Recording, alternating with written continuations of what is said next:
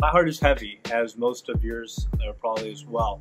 Last week, uh, the Two Minute Tuesday, I actually recorded that about two to three weeks prior to, and I also recorded this week's Two Minute Tuesday at the same time. So I was ready to roll.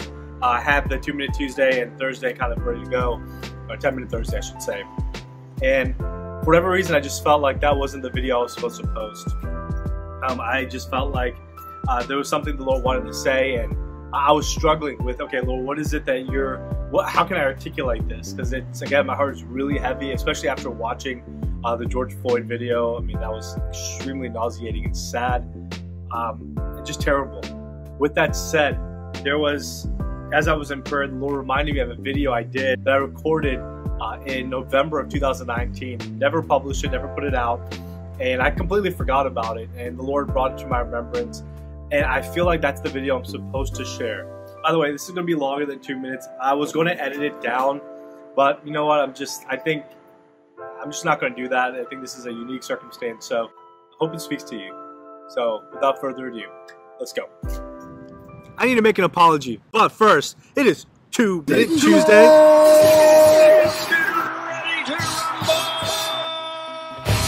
As you know, two minutes now. Guys, I put out a video and it was saying why John MacArthur is wrong. That's what it was titled. And I want to apologize for that because number one, um, I didn't honor a brother in the Lord by the name of John MacArthur. Listen, I don't dis- I don't agree with John MacArthur. I don't agree with his stance on women preachers. I don't agree with his stance on uh, the baptism of the Holy Spirit and charismatics and Pentecostals. I don't agree with him whatsoever. But here's the thing: just because I don't agree with him doesn't mean I need to dishonor him because he's still a brother in the Lord.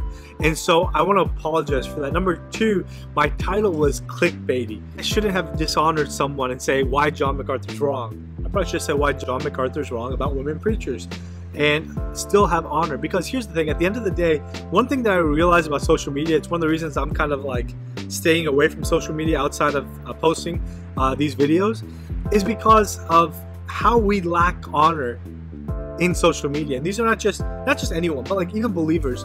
Guys, uh, the culture of heaven is a culture of honor. Jesus honored people even when he disagreed with them. Uh, think about Peter and John, uh, or let's say James and John, they're like, Lord, can, should we, you know, this this town, we didn't accept us.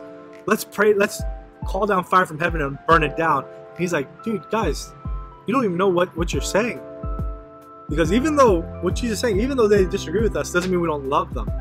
And I think that's something we have to remember on social media is even if people disagree with you, even if they don't have your same political views or your views on on uh, social justice or your views on your sports team. I mean, sports team, maybe because no one likes the Patriots. Don't share your views on other things. Doesn't mean we need to dishonor the person. We can maybe even say like why we disagree with them, but we should still carry the heart of love. Jesus said, "They will know that you are my disciples by the love you have one unto the uh, one unto another." This is how the world knows that you are my disciples is not by how often you pray, not by how great you pray, not by the miracles, signs, and wonders that you have. Paul says, listen, if I pray with tongues of angels but I have no love, I'm nothing. Jesus said, They will know that you are my disciples by the love you have one to another. And when you have a love for one another, even if you don't know that person well, the way you show love is through honor. So, guys, I want to encourage you listen, social media, it's quick to say something quickly. It's quick to just, you know, be angry at someone or be angry at them because they don't see how you see or they're not as woke as you are or they're uh, too liberal or too conservative or whatever. I mean, especially in regards to politics. But it doesn't mean we shouldn't love one another. Keep our heart open to love because that's the culture of heaven. It's a culture of honor. And I believe when we honor, when we love one another, is when we see and sense God moving. So the Bible says it like this God resists the proud, but gives grace to the humble. You want to have grace operate in your life? Be humble enough to not just point out someone's wrong and just get angry with them and dishonor them. I mean, you can point out someone's wrong, but like, how is being right that that important? Like sometimes, yeah, being right may be really important, but can we love more than being right sometimes? Like, can we just love one another and not like tear someone down because they were wrong. because you can tell someone, hey, you know what? Like I disagree with you, but I still love you. I still care about you, and show love and and have a heart of love, even the tone of love because that's a culture of honor, guys. Listen, I'm not perfect at this. Like I, I catch myself dishonoring people because of political views or whatever, and I'm trying my best. So be gracious to me. I'm going to try to be better at this.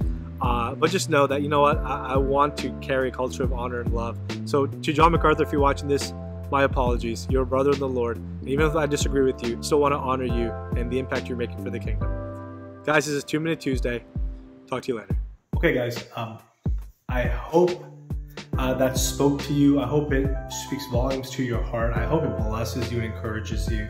Um, again, I just really felt like that was the video I needed to share with you guys. Totally forgot it was even there, but here we are. As a child of an immigrant, as um, a minority myself, uh, I just want to say that uh, we stand with all of our brothers and sisters, especially our black brothers and sisters, and so many of our of of our friends um, that we've just been walking together, and it's been an amazing journey. And so we just want to let you guys know we stand with you guys. I want to read and just share a few verses with you. I believe it speaks to the kingdom. Galatians chapter three, verse 26. It's from the Passion Translation. You have all become true children of God by faith of Jesus, the Anointed One. It was faith that Im immersed you into Jesus, the Anointed One, and now you are covered and clothed with His anointing. Now, here's the heart of God. Here's here's how the kingdom looks. And we no longer see each other in our former state, Jew or non-Jew, rich or poor, male or female, because we're all one through our union with Jesus Christ with no distinction between us. I'm going to give you one other verse real quick. It's uh, Colossians chapter 3, verse 11. Here there is no Greek or Jew, circumcised or uncircumcised, barbarian, Scythian, slave or free, but Christ is all and is in all.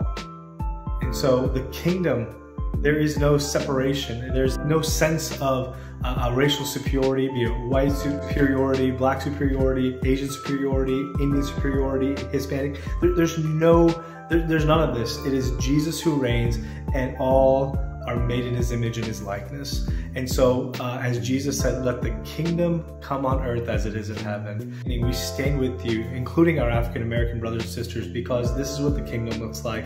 We are brothers and sisters in Jesus. And so we stand with you guys, and we love you all. I hope this blessed you and encouraged you. If it did, let me know. Uh, share in the comments. Talk to you later.